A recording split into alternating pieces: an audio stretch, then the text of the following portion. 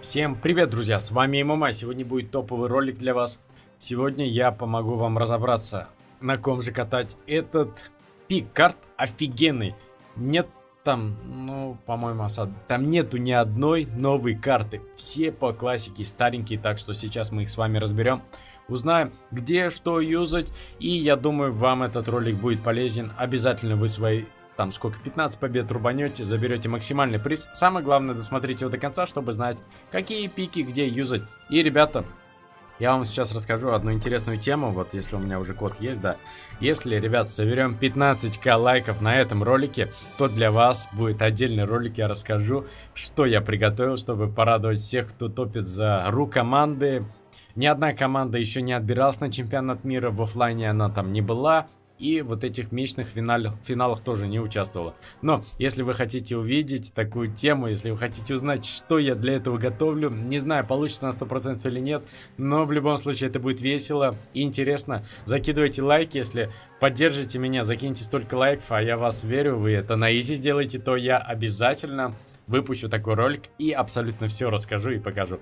Так что давайте с вами сразу приступим к этим картам. Единственное, что хотел бы сказать, что спасибо всем, кто юзает уже мой код. Вы тоже, ребят, подрубайте в поддержку, если еще не подрубили. Ну и в общем, начнем сразу с первой карты. Это гемы Каменный Форт. Погнали! А перед тем, как мы с вами продолжим, я бы хотел рассказать, что осталось уже всего два отбора на сумасшедший турнир с бешеным фондом 300к рублей Теле 2 Mobile Open Cup 2020. Регистрация бесплатная и поучаствовать может каждый. Самое главное это собрать команду, прочитать все правила и прийти и поучаствовать. Не забывайте, что если не получится в этом отборе, будет еще один шанс отобраться. Ну а лучшие игроки 1 августа зарубятся за главные призы. Вся инфа будет по ссылочке в описании. Регистрируйтесь прямо сейчас. Сейчас вы, ребята, еще узнаете, почему я этот ролик пилю сейчас с вебкой. Хотя лицо чуть потерто после борьбы. А, в общем, у меня есть для вас прикольная тема, если вы не видели мой там ролик с открытием бокса, то в принципе вы не поймете, откуда эти наклеечки, но они у меня есть. Плюс тут а, старый комплект, тут не все персонажи, но все-таки они нам пригодятся. И сейчас давайте сразу разъясним. Сейчас вы поймете, о каких наклейках я говорил, что я вообще к чему. А, смотрите, вольт. По вольту пока неизвестно, это очень имбовый бравлер если он будет доступен, в чем я сомневаюсь, потому что многие его вообще не нашли, многие еще и не скоро найдут, может быть кто-то вообще его не найдет, а найдет там спустя там три сезона Брал Пасса и так далее. Это будет, блин, через 150 дней, это практически полгода. Ну, в общем, суть в том, что этот персонаж сейчас лютый имбовый, и давайте мы по, им, по нему разъясним. Если он будет доступен, то юзайте его на всех картах, кроме одной. Это осада. Не юзайте там, потому что там не хватает времени. Если вы не расфармитесь, то все, до свидания, и вам он уже не поможет. А если вы потеряете атаку, то может быть и все на этом закончится. Потому что вам придется дефать, вы не сможете умирать, не сможете своим телом защищать. Короче, если он будет доступен, но я думаю, что навряд ли, то вы тогда его юзаете везде, кроме осады. И давайте сейчас разберем более реальные пики, которые, скорее всего, будут. Да, Гейл очень нимбовый сейчас, но при всем этом он не будет в бане, потому что он будет по-любому доступен, это старый персонаж. Предлагаю взять вам очень топовый пик и добавлю небольшие варианты, которые можно изменить. Берем Гейла на мид, берем у нас Мистер Пи есть, у меня его, к сожалению, и есть у меня вот кто. У меня есть Пэм, ребята. Вот так вот, вот так лучше видно. У меня есть Пэм. Предлагаю вам взять Гейла на мид вместе с Мистером Пи. Вы сразу залетаете на трамплинчик, начинаете рашить. Правда, сейчас это уже с небольшим контролем от соперников идет. Но так как у вас будет трамплин, контроль в самом начале будет по-любому у вас. Вы будете здесь раньше, нежели чем ваши соперники. После этого с мистером Пи вы накапливаете на станцию. А Пэм, чем же занимается Пэм? Она идет на левый фланг, я думаю, так будет куда плотнее. Но трамплин лучше поставить вот где-то сразу при начале игры. А, блин, это, это был мисклик. Не знаю, как так вышло вот где-то вот здесь ровненько ставите. И вот сразу залетаете на мид, на свою территорию безопасную. И если вдруг, вдруг погибнете, то всегда сможете залетать. Что же будет делать Пэм? Пэм идет по этой стороне. У нее нет задачи там зарашить сразу в упор. И просто попытаться убить, либо в размен пойти. То есть убил, не убил. Вы что делаете? Вы просто накидываете по КД сюда, сюда, проверяете. Если вы начали попадать, если он коцанный, начинает отступать продавливаете его вдоль до этой стены, прям до конца, чтобы его выкурить, чтобы был контроль.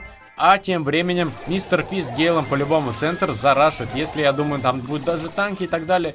Гейл всегда может оттащить, всегда он застанет в коробке с мистером Пи накидайте. И желательно поставьте, например, я думаю, что станция от мистера Пи будет идеально вот здесь. Не забудьте, что и у ПМ, у мистера Пи должны быть вторые старки. У ПМ это э, старка на урон. Если она продавит, потом она может поставить хилочку вот сюда.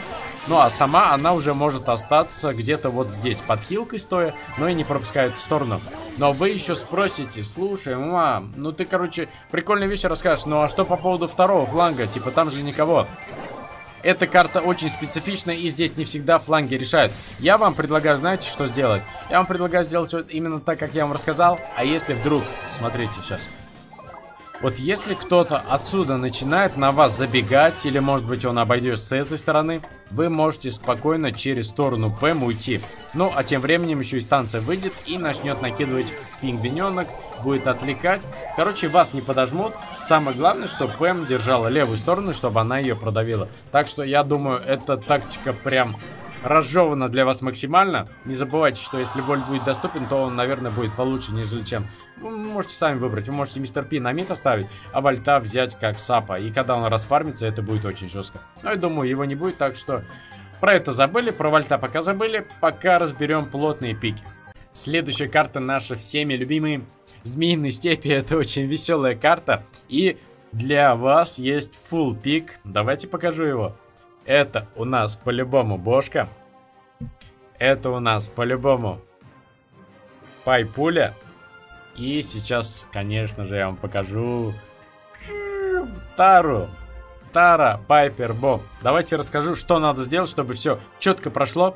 И буквально-таки, наверное, возьму Пайпер. А, потому что остальное, в принципе, показывать не нужно. Смотрите. Берем Пайпер. А тут иногда стороны меняются. Видите этот домик? Он очень важен. Сейчас расскажу почему. Сейчас он справа, иногда он может быть слева. Так что вот так вот бывает. Смотрите, ребят. Вот где-то здесь Бо может поставить свою станцию. Свой тотем. Но все, абсолютно все идут на мид. И почему? Это очень важно, потому что вам нужно забрать звезду. То есть, э, желательно... Хотя, в принципе, не факт. Желательно сделать как? Тара проходит к этому домику, Пайпер где-то на меду, чтобы любую сторону сразу прострелить. А бой идет по этой стороне, чтобы если кто-то вдруг пойдет на него, то он, он, точнее он, да, он бы это видел. Но еще очень важно, не пожалейте один свой гаджет на таре вот когда уже вот отсюда вы при начале будете подходить вот сюда, сразу его подрубайте. Если тут где-то будет бо, вы просто накидаете по нему.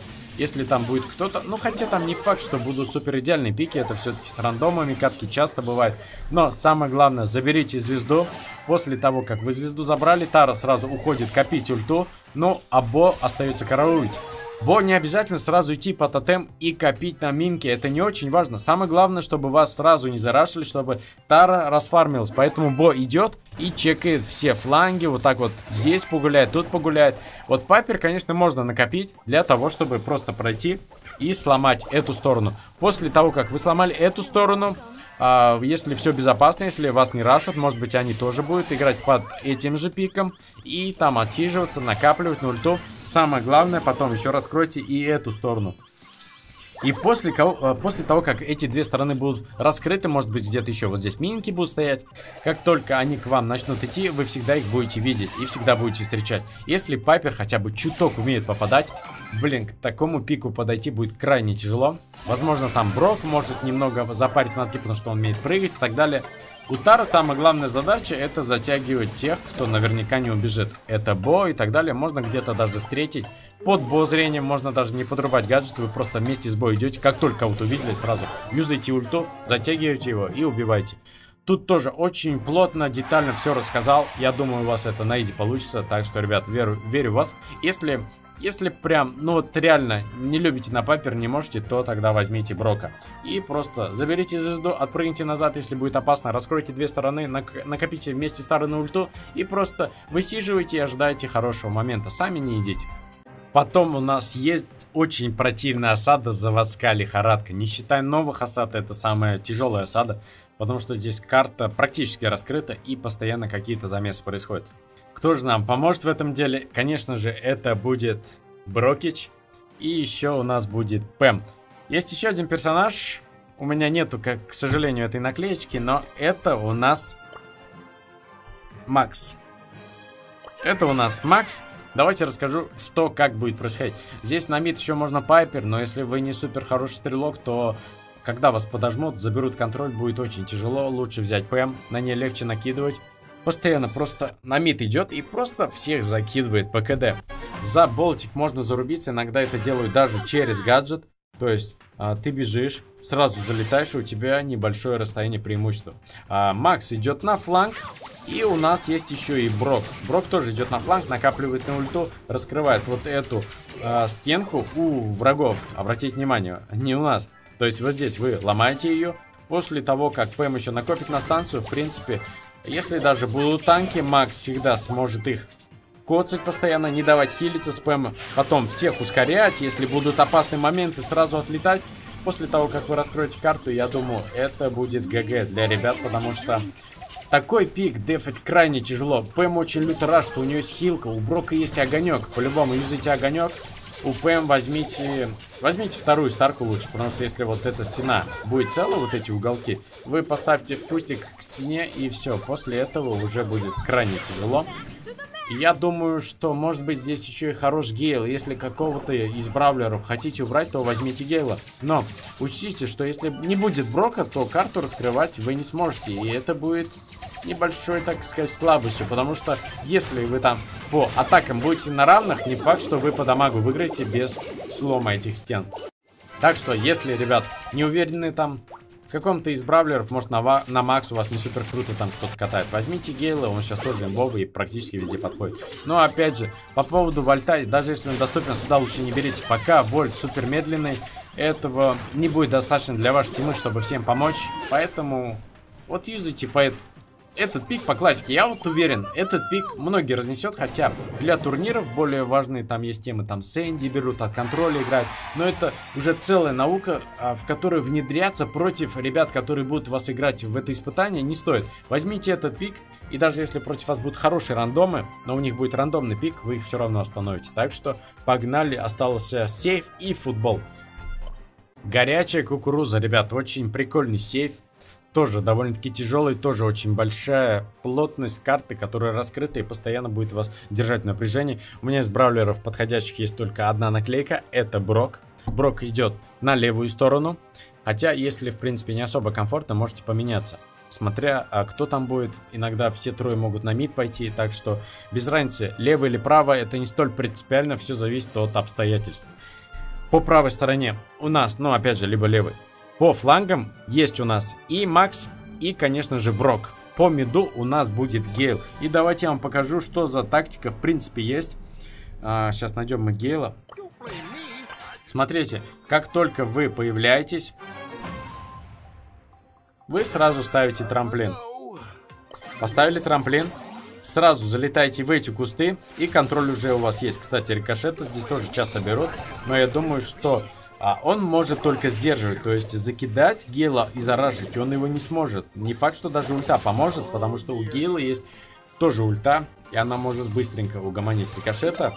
По сторонам задача какая? Я думаю, что Броку и Макс очень важно продавить как-то. И если кто-то из них может пройти, то забить на деф и просто атаковать, потому что в дефе у вас есть Гейл. И Гейл очень хорош в атаке, он по 1700 тоже может по 2 косаря накидывать. Но он куда круче контрит всех этих танков, он их отталкивает, отгоняет от сейфа. Постоянно не дает проходить, если там будет какой-то брок, он может спокойненько подойти, застанить его и, так сказать, убить или как бы отогнать. А это очень важно для вашего сейфа, потому что любая секунда, любой там а, миг, он может все изменить. Один процентик часто решает, но такие катки, в принципе, вот против рандомов, они не всегда будут Поэтому Гейл идет мид, сдерживает в приоритете его деф, но если есть возможность добить, то, конечно, залетайте на сейфе и... Точнее, на сейфе, на трамплине и добивайте. По поводу остальных бравлеров, я думаю, тоже вы поняли. Если есть возможность пройти, забейте на остальных, пролетите туда и выпиливайте сейф. Без разницы, это Брок или Макс. Два этих бравлера очень хороший дамаг выдают. А если вы по всем трем точкам продавите и подожмете к сейфу, то сейф спилится просто в один миг. Так что, я думаю, это самый крутой пик. Не обращайте внимания на то, что Гейл наелся и спит. Мы отправляемся в футбол. Это крайний режим и крайние карты, которые будут, ну, три игры на этой карте, они будут в этом испытании. Так что, погнали. Супер стадион, ребята, для вас есть тоже неплохой пик. Давайте посмотрю, кто у меня из этого пика есть. Есть точно один Бравлер. Нет, есть даже два, но один из них будет под вопросом. Смотрите, я вам предлагаю взять. А, есть здесь вариант взять на мид B. Но если против вас попадется мистер Пи, особенно со второй старкой, это все, до свидания. Потому что будет каждую секунду выбегать пингвиненок, и вы задолбаетесь его останавливать. Я думаю, что есть хороший для вас пик, смотрите. Либо это... Это Джин. Вот он, вот он. И еще сюда можно взять Фрэнка. Вы подумайте, что за фигня, какой Фрэнк. Но в связке с Макс и Джином этот Бравлер может просто давить, просто как танк идти. Вот просто игра началась. Я вам сейчас покажу.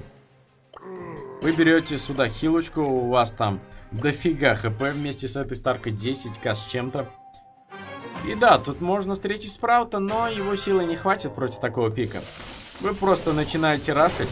И, конечно, да, вас тоже могут давить по вам могут накидывать, но на Джинни возьмите хилку, если что, Фрэнк станет под эту хилочку и быстро вернет свои 10 хп. По другой стороне, Макс будет накидывать, если продает фланг, то будет круто. Если не продавит, но хотя бы накопит на ульту, то это уже достаточно, чтобы Джин кого-то затянул. Вы вместе с Джином его расфигачили. Если не получилось, подрубайте гаджет, станете просто всех, и это будет изи гол. Но если вы не уверены в то я вам сейчас покажу еще один очень интересный пик. К сожалению, у меня нету этого стикера, но сейчас вы сами все увидите. Погнали. Если у вас нету Фрэнка, то возьмите на сторону мистера Пи, я вам отвечаю. Этот бравлер задолбает просто любого. Допустим, а, боты через мид не играют, но пусть они играют через центр. Точнее, через фланг не играют, они все играют через центр. Окей, это не проблема. Может быть, вас также будут рашить. Как только накопили на ульту, все, игра начинается. Напомню, это вторая старка.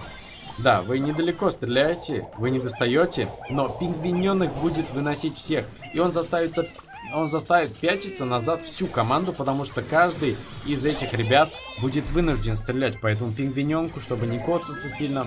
В это время вы сможете их давить. И возьмите его место Фрэнка, возьмите Джина, Макс и Мистер Пи. Этот пик а, конечно, будет тяжело по началочке. Возможно, вас могут попытаться зарашить какие-нибудь там два танка. Можно даже что-то там с BB с полка увидеть и так далее. Но как только вы накопите на станцию, как только вы ее поставите, займете контроль и начнете просто плавно всех выпиливать, вы можете даже где-то вместе стоять, если там не Тара с ультой.